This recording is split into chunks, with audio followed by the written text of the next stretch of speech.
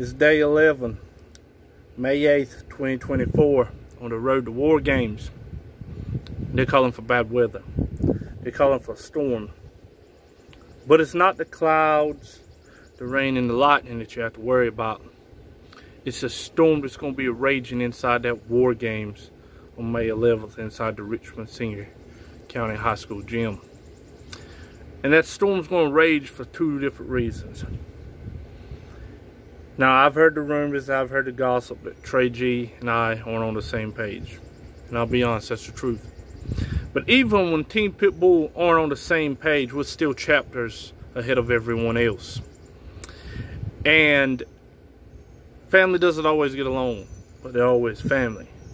And yet you got powers that think they are, are trying to break up a family. That's the reason the storm's going to rage. That's the reason lightning's going to crash down.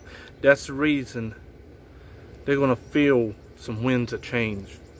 Team Pitbull aren't just coming in to win a match. We're not coming in just gain control of WCEW. We're coming in to destroy now. We're coming in to hurt, to end legacies. New breed, you went from a respectable team that had a bright future to allies with the enemy. The enemy trying to destroy and break up a family. And either you're with us or you're against us. You can't ride the fence. Aaron CK, I want you to remember, you want to be part of Team Pitbull. May 11th your chance. You better do the right thing because either you're with us or you're against us. This storms are coming. Either you're going to drown in the floods or you're going to be consumed by the fire.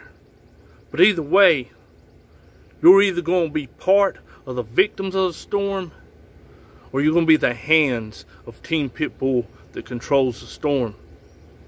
Either way, May 11th, a storm is coming.